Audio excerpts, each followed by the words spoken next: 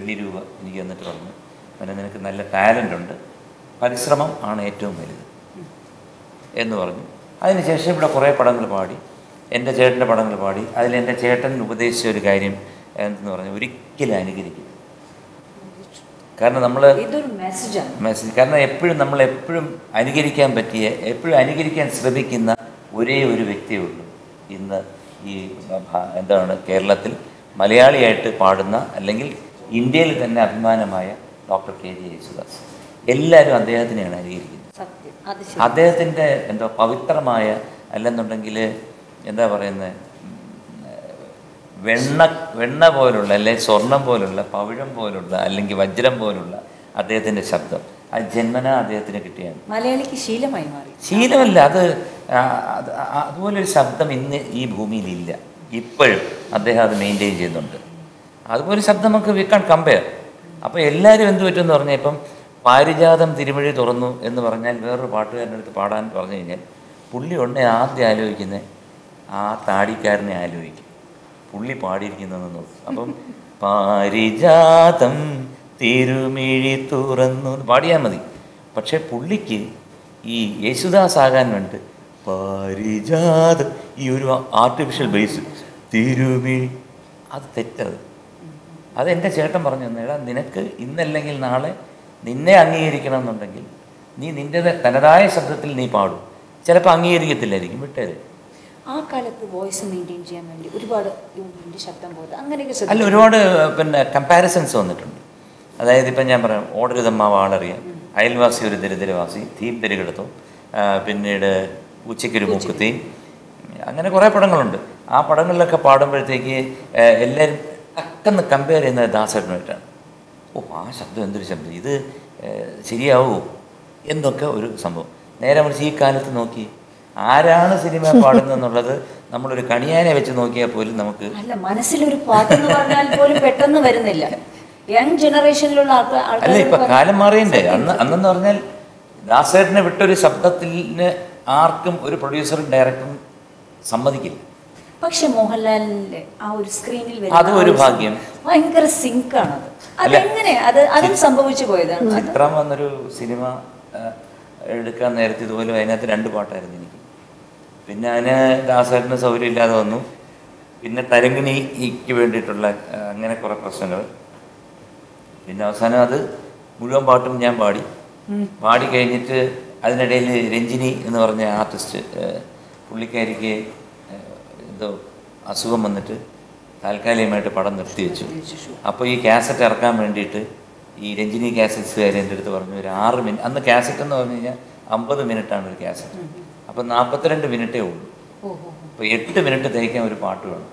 അപ്പോൾ അങ്ങനെ എന്റെ ചേച്ചിയുടെ വീട്ടിൽ എന്റെ സൗണ്ട് എഞ്ചിനീയർ ടെന്നീസിന് എന്റെ സുഹൃത്ത് ശ്രീധരൻ പോറ്റി ബാക്കി എല്ലാവരും കൂടി ഇരുന്നിട്ടാണ് സ്വാമിനാഥ പരിപാലയാശുമാ അത് അത് കാസറ്റിലിട്ടിട്ട് റിലീസ് ചെയ്തു. റിലീസ് ചെയ്ത് ഈ കാസറ്റ് കേട്ടപ്പോഴത്തേക്ക് പ്രിയന് തോന്നി ക്ലൈമാക്സ് ആയിട്ട് ഈ പാട്ട് വന്നാൽ എങ്ങനെയിരിക്കും അത് പ്രിയന്റെ ബ്രില്യൻസ് ആണ്. അങ്ങനെ അങ്ങനെയൊക്കെയാണ് ഒരു. സംഭവിച്ചത്. അപ്പം പെട്ടെന്ന് പടം ഹിറ്റായി. അപ്പം ലാലിന്റെ ഒരു ഇത് വന്നപ്പോഴത്തേക്ക് ലാലിന്റെ ഒരു പിന്നെ ഞങ്ങൾ രണ്ടുപേരും വളരെ സിങ്കാണ് അത് പറയാ ഒരുപാട് കാര്യങ്ങളിൽ ഇപ്പം നക്ഷത്രമായാലും എല്ലായാലും ഞങ്ങൾ ഞങ്ങളൊരു എന്ത് എന്താണെന്ന് പറഞ്ഞാൽ ഒരു ആത്മബന്ധം വല്ലാത്തൊരു ബന്ധമാണത്. ഇവിടെ ഞാൻ കേട്ടിട്ടുണ്ട് ഇപ്പം പെട്ടെന്ന് ഈ പാട്ട് പാടി പാടിയപ്പോഴും. ദേവസഭാതരം അതിൽ പാടി ഞാൻ അതിൽ അയ്യോ അങ്ങനെ ഞാൻ പേടിച്ചു പോയി ഞാൻ പിന്മാറുന്നു. ഇന്നത്തെ ജനറേഷൻ അങ്ങനെയാണോ? അല്ല പേടിച്ചു പോയി പിന്മാറിയതല്ല. കാരണം ഇന്നത്തെ ഇന്നത്തെ ജനറേഷൻ അല്ല അങ്ങനെ ഒരു സിറ്റുവേഷനിൽ പേടിച്ചു പോകും. കാരണം വെച്ചാൽ രവീന്ദ്രമാഷ് രവീന്ദ്ര മാഷ് പറഞ്ഞു ഞാൻ ദാസേട്ടൻ ഞാനും കൂടെ പാടുന്നതാണ്. അപ്പം ഞാനൊന്ന് പച്ച പിടിച്ച് വരുന്ന ഒരു സമയമാണ് അപ്പം പെട്ടെന്ന് ഒരു ഗ്രൂമിങ് ആ ദേവസഭാതലം രാഗില. അങ്ങനെ പാടേ ദേവസഭാതലം രാഗില എന്ന് പാടണമെന്ന് പറഞ്ഞു. അപ്പോൾ ഞാൻ പറഞ്ഞു മാഷെ അങ്ങനെ പാടിക്കഴിഞ്ഞാൽ ഏഹ്, സ്വാഭാവികമായിട്ട് കേൾക്കുന്ന ഒരു മനുഷ്യനൊരു കമ്പാരിസൺ വരില്ലേ? അപ്പം ഞാൻ എന്റെ സുഹൃത്ത് ഡെന്നിസ് ജോസഫിനെ വിളിച്ചു. പുള്ളി പറഞ്ഞു വിട്ടോടാ തോമസ് കുട്ടി എന്ന് പറഞ്ഞു. അവിടെ കാരണം നീ നിൽക്കേ വേണ്ട. കാരണം നിനക്ക് ദൈവം ഒന്ന് രണ്ടു മൂന്ന് പടി കയറ്റി വെച്ചിരിക്കുകയാണ്. അന്ന് വിട്ടത് മലയാള സിനിമയിൽ ചെന്നെത്തി. പക്ഷെ ഞാൻ പാടി വെച്ചത് ക്ലീൻ ആയിട്ട് ഇപ്പോഴും റെക്കോർഡിലുണ്ട്. പക്ഷേ അഹങ്കാരിയായിട്ട് പാടിയ ആ പോർഷൻ സിനിമയ്ക്ക് വേണ്ടി പാടിയത് രവീന്ദ്ര മാഷന്റെ പാടി. അതെ ഞാൻ പറഞ്ഞ എനിക്കത് പറ്റത്തില്ല. കാരണം ഇന്നും അത് ഒരു വളർന്നു വരുന്ന ഒരു ഗായകന്റെ അടുത്ത് ഇപ്പം ഞാൻ വളരെ കൃത്യമായിട്ട് പാടുന്നു. വളർന്നു വരുന്ന ഒരു ഗായകൻ ഭയങ്കര രൗദ്രമായിട്ട് പാടണം എന്ന് പറഞ്ഞാൽ ചിലപ്പോൾ സമ്മതിക്കില്ല.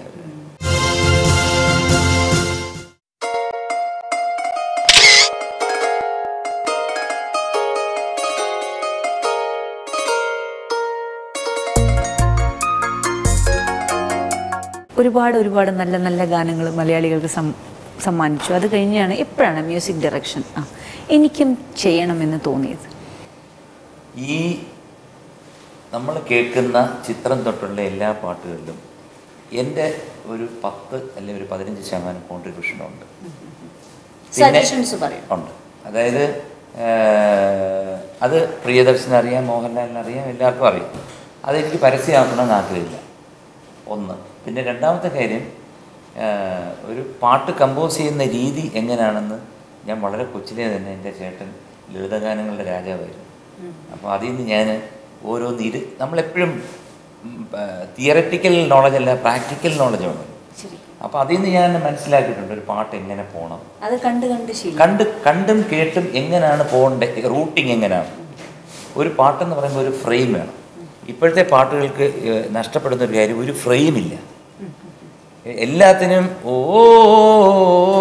ഓ എന്ന് പറഞ്ഞ ഒരു സാധനം ഇട്ട് വേറൊരു മൂടിട്ട് എന്തോ നാല് വരി എഴുതി കഴിഞ്ഞു. അപ്പോൾ ഇന്ന് കാലത്ത് പോലും ഞങ്ങൾ രണ്ടുപേരും കൂടി ഇരുന്നിട്ട് ടി വിക്കകത്തൊരു പാട്ടുണ്ടെന്ന് ഞങ്ങൾ മലയാള ഇവിടുത്തെ ഭാഷയിൽ ചോദിച്ചു ഇത് എന്തെഴുത് കാരണം ഒന്നും നിൽക്കുന്നില്ല അത് ആ- പടത്തിന്റെ പടം റിലീസായി തിയേറ്ററിൽ നിന്ന് പോകുന്നതോടുകൂടി ആ പാട്ടും കൂട്ടത്തിലങ്ങ് പോവും ആ പടത്തിന്റെ കൂടെ. വളരെ ഒന്നോ രണ്ടോ പാട്ട് നിൽക്കുന്നു അപ്പോൾ അത് കണ്ടു പഠിച്ച് ഞാൻ ഈ എങ്ങനെയാണ് കമ്പോസിങ്. അതുപോലെ തന്നെ എനിക്കൊരു ഭാഗ്യം കിട്ടിയിട്ടുള്ള ഞാൻ ആർ ഡി ബർമന്റെ അവരുടെയൊക്കെ ഗ്രൂപ്പിൽ അവരുടെ കമ്പോസിങ് കാണാനുള്ള ഒരു അവസരം എനിക്കുണ്ടായിട്ടുണ്ട്. നദീം സ്ലാമിന്റെ കമ്പോസിങ് പ്രീതത്തിന്റെ കമ്പോസിങ് പിന്നെ സെപ്പച്ചൻ ജോൺ സേട്ടന് ഇവരുടെ എല്ലാം കൂടി ഇരുന്ന് വർക്ക് ചെയ്യാൻ എനിക്ക് ഒരു മഹാഭാഗ്യമാണ്. അന്നൊക്കെ എന്ന് വെച്ചാൽ സ്റ്റുഡിയോയിൽ എനിക്കൊന്ന് പാടാൻ പോകുമ്പോൾ ഒരുപാട് സമയം സ്പെൻഡ് ചെയ്ത്. പിന്നെ അത് നമ്മൾ ഇപ്പോഴത്തെ പോലെ ഒന്നുമല്ല കാരണം seven two one two two nine രണ്ട് കോൾ ഷീറ്റാണ് എട്ട് മണിക്ക് അവിടെ ചെല്ലണം. അപ്പോൾ എട്ട് മണിക്ക് ഞാനല്ല ചിത്ര ചാര അഡ്വേറ്റ് ആണെങ്കിൽ രണ്ടുപേരും അവിടെ കാണണം. ഇന്നത്തെ അഡ്വേറ്റ് ആരും തമ്മിൽ കാണുക പോലും കാണുക ഇല്ല. പോലും ഇല്ല. നമ്മളിങ്ങനെ വിചാരിക്കും തോളോട് തോൾ ചേർന്നൊക്കെയാണ് പാടിയിരിക്കുന്നത്. തോളോട് തോൾ പണ്ട് പണ്ടും ചേരത്തൊന്നുമില്ല. ദൂരെ തന്നെ പാടാൻ പറ്റത്തുള്ളൂ.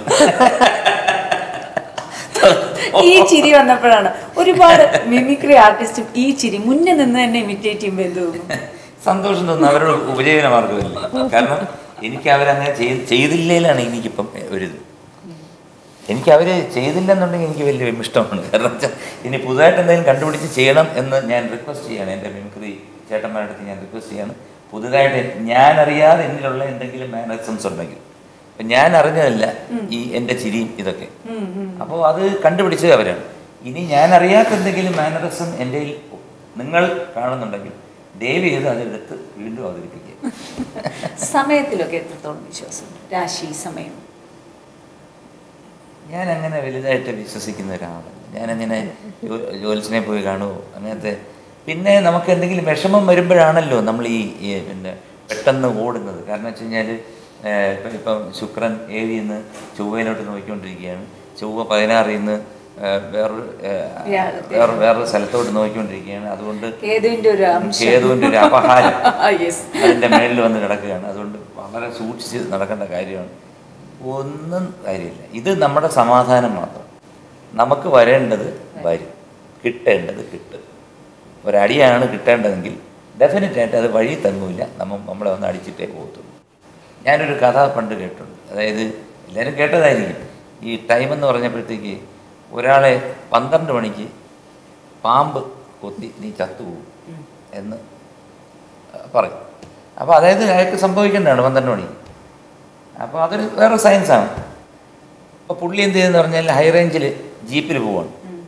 അപ്പോൾ ജീപ്പിൽ യാത്ര ചെയ്തുകൊണ്ടേ പോവാണ്. അപ്പോൾ എങ്ങനെ പാമ്പ് കടിക്കും പാമ്പിനെ കടിക്കാൻ പറ്റില്ല വണ്ടിക്കകത്തെല്ലാം തപ്പി നോക്കി പാമ്പും ഇല്ല ഒന്നുമില്ല. ജീപ്പ് എടുത്ത് കൂട്ടുകാരായിട്ട് പോവാണ്. അപ്പോൾ ജീപ്പിന്റെ സൈഡിൽ ഇങ്ങനെ കൈ പിടിച്ച് ജീപ്പിൽ ഇങ്ങനെ പൊക്കോണ്ടിരിക്കുക.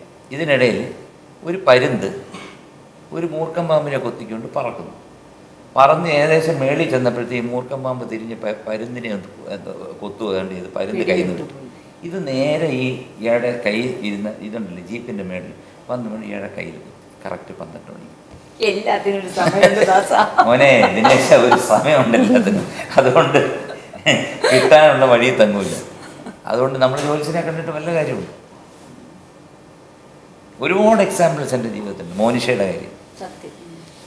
മോനിഷയുടെ കാര്യം എന്ന് പറഞ്ഞു കഴിഞ്ഞാൽ സോറി മോനിഷയുടെ കാര്യം. അതായത് മോനിഷ എന്താണ് കല്യാണം കഴിച്ച് ഇത് ഇതൊക്കെ ആകും എന്നൊക്കെ പറഞ്ഞ് രണ്ട് കുട്ടികളുടെ അമ്മയാകും. അങ്ങനെയാണ് ഇങ്ങനെയാണെന്നൊക്കെ പറഞ്ഞതിന്റെ രണ്ടാഴ്ച കഴിഞ്ഞപ്പോഴാണ് നമുക്കൊന്നും നമ്മുടെ ലൈഫിനെ പറ്റി പ്രവചിക്കാനും പറ്റില്ല.